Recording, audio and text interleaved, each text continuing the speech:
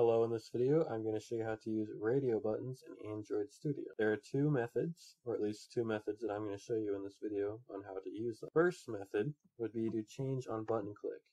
So what I mean by that is you have a prompt or whatever, and then you get to select an option.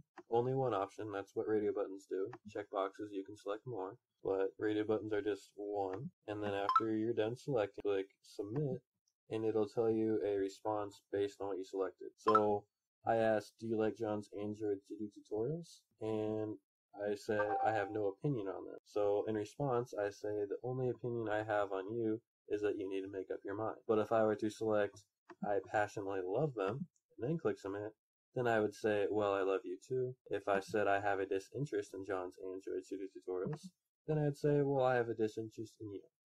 So that's how that works. We also have the direct change method. So in here, there's no submit button. You just click the one you want and it'll automatically update the words below.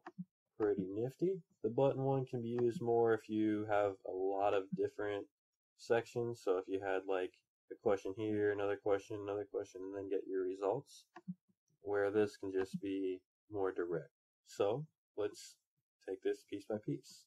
We need a change on button click uh, activity. So we're going to need a new activity.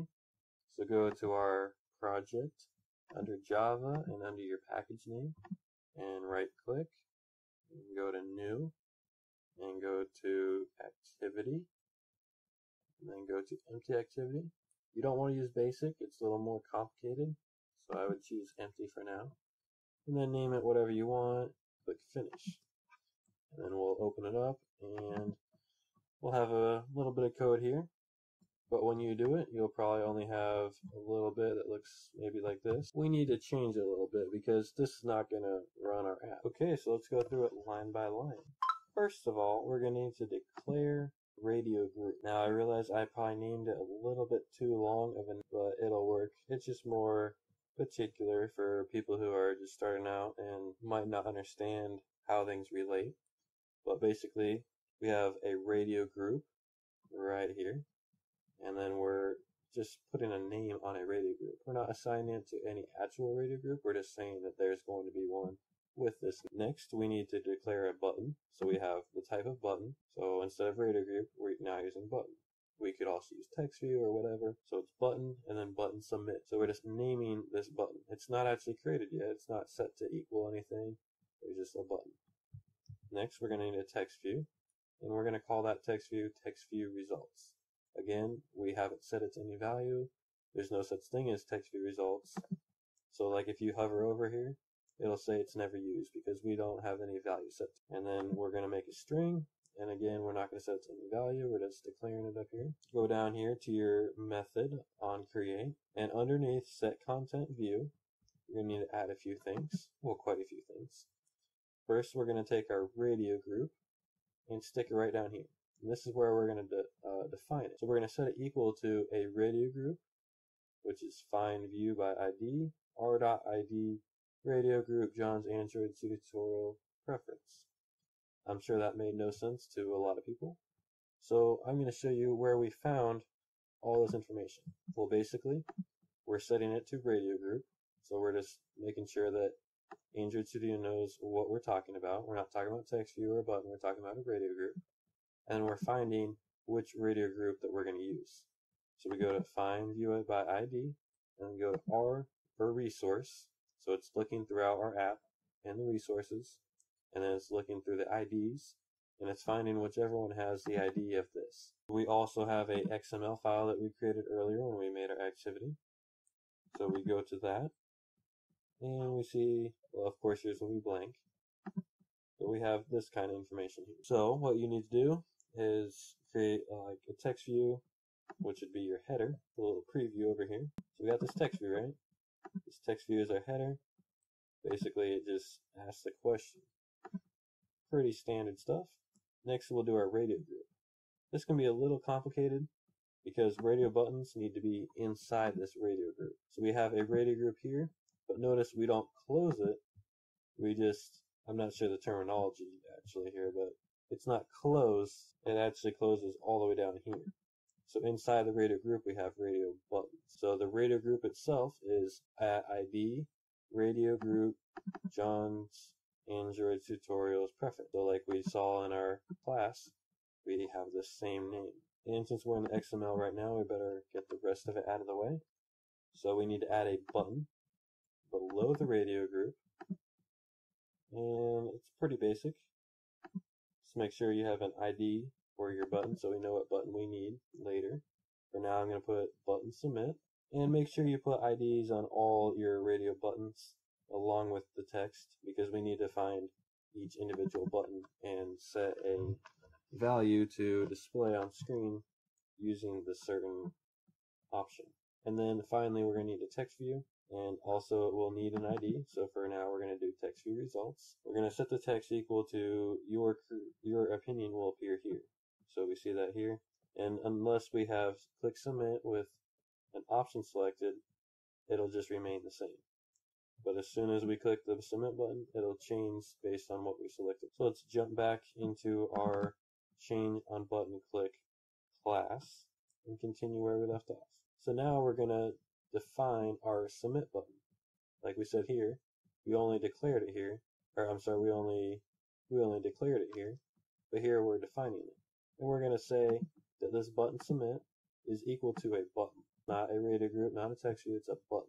And we're going to find which button we're using by going r for resource dot id dot button submit. So if we go back to our XML, we'll see our button is button submit. So that's where we're getting the ID from. Next, we're going to define our text view results. So text view results equals text view, find view by ID, and text view results. So if we go here, sorry, if we go here, we find text view results. Next, we're going to create a method that'll handle our option selecting for when we select options in our radio group. So first we have our radio group. In this line, we just declared which radio group we're using. But in this one, we're actually going to add a listener for the radio. It's not too important that you know what all this means.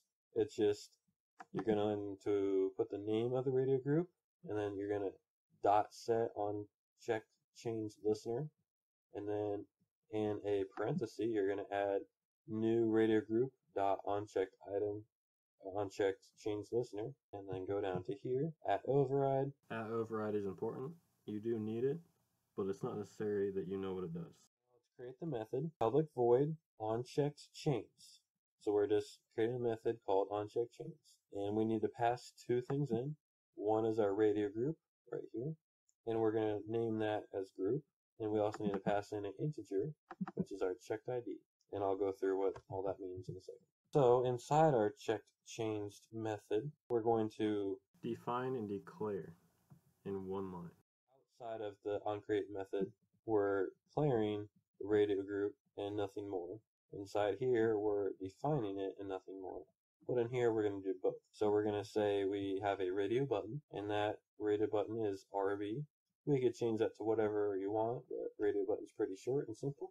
We're going to set this type, which is radio button, and where we found it. So it's group. It's the group of the radio group dot find view by ID, checked ID. So now we're going to add a switch case statement. Basically, instead of an if else statement, which just checks if something is true or not true and then goes back to or goes to the next item and checks if that's true or not. This is just a much more advanced method of figuring out if else. So basically, we're going to switch between all these different radio buttons. So we're going to do radio button, which is each radio button in our group, dot get ID. Our first case would be radio button, I passionately love them. What's that supposed to mean? Like, where do we get that ID? Our first button here is radio button, I passionately love them, which corresponds to I passionately love them option in our app.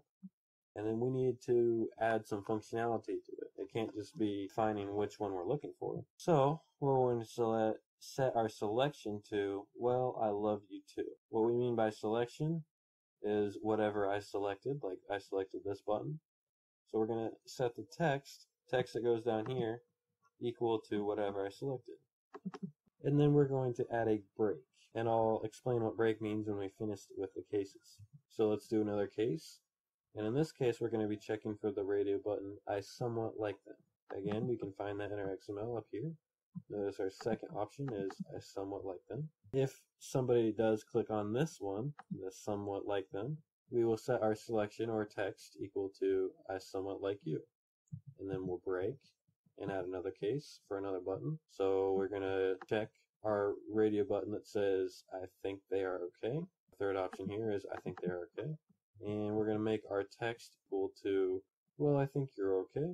We add another break statement, then another case.